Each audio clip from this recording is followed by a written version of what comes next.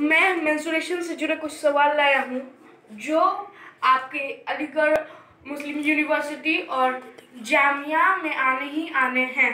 पहला तो देखिए भाई, बहुत सारे बच्चों को ये कंफ्यूजन होता है कि, सर, हम लोगों ने ये तो पढ़ा है कि स्क्वायर ये स्क्वायर का एरिया और पेरीमीटर पढ़ा है, लेकिन इसका मान लीजिए कि पेरीमीटर दे दिया है और एरिया पूछ लिया है। तो उन बच्चों को कंफ्यूज हो जाते हैं और उस क्वेश्चन को छोड़ देते हैं। तो ये बहुत इंपॉर्टेंट क्वेश्चन है जो मैं आपको आज बताने जा रहा हूँ।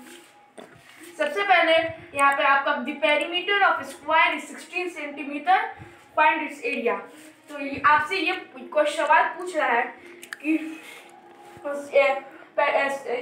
सिक्सटीन सेंटीमीटर स्क्वायर का पेरीमीटर और उसका आप एरिया बताइए। तो फिर स्टार्ट करते हैं। पहले हम लोग सबसे पहले इसका साइड निकालेंगे। और साइड निकालने के लिए जो हमारा पेरीमीटर दिया है, उसको हम लोग फोर से डिवाइड करेंगे। तो फोर फोर जा सिक्सटीन तो हम लोग का फोर आया साइड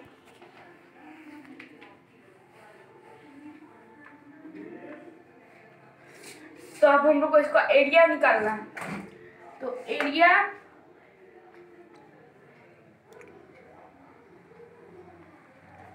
इसका तो एरिया का फॉर्मूला हम लोग सब कोई जानते हैं कि एरिया का फॉर्मूला होता है side into side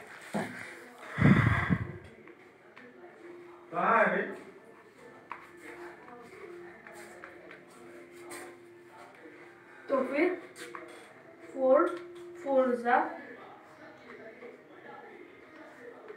sixteen centimetre square.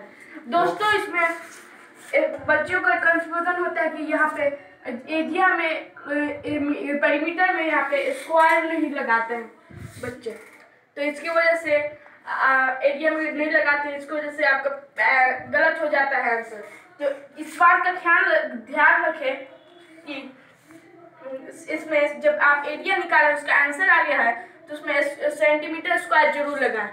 चलिए अब हम बढ़ते हैं अपने नेक्स्ट सवाल की और तरफ़। दोस्तों अगर हम लोग पूछ दिया कि there area of square is four centimetre तो फाइंड इट्स डायगोनल